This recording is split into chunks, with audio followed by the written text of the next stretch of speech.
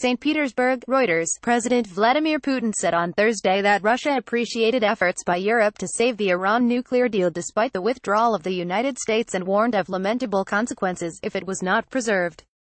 Russian President Vladimir Putin speaks during a news conference after the talks with his French counterpart Emmanuel Macron in St. Petersburg, Russia May 24, 2018. Reuters' Gregory Dukor Putin made the comment in a news conference with French President Emmanuel Macron, offering some support for the French leader's plan for negotiating a broader agreement with Tehran to cover Iran's ballistics program and its activities in the Middle East. Macron met Putin seeking to win concessions on Syria, Iran and Ukraine after returning largely empty-handed from a state visit to the United States. Certainly we can discuss Iran's ballistic missiles. We can discuss Iran's policies in the Middle East and its nuclear activities after 2025. Putin said, but we cannot make preserving the Iranian nuclear deal dependent on these three parameters because if we do, it means that we too are withdrawing from the accord because the deal that exists foresees no additional conditions. A Macron advisor hailed Putin's comments as a key point of convergence between Paris and Moscow as the Trump administration urges its European allies to sever economic ties with Iran. After talks that ran long over schedule, Macron and Trump entered the news conference looking relaxed and smiling. Macron acknowledged Paris and Moscow disagreed on a range of issues but called for strong multilateralism. Earlier, it was announced French energy major Total TOTFPA would buy a 10% stake in a Russian Arctic gas project, showing the Kremlin's ability to find foreign partners despite Western sanctions.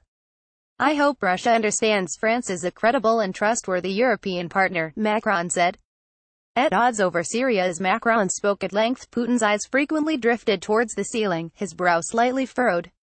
There were a few signs Macron succeeded in shifting Putin's stance over Syria, where Russian and Iranian military support for President Bashar al-Assad over the past three years has allowed Assad to crush the rebel threat to topple him.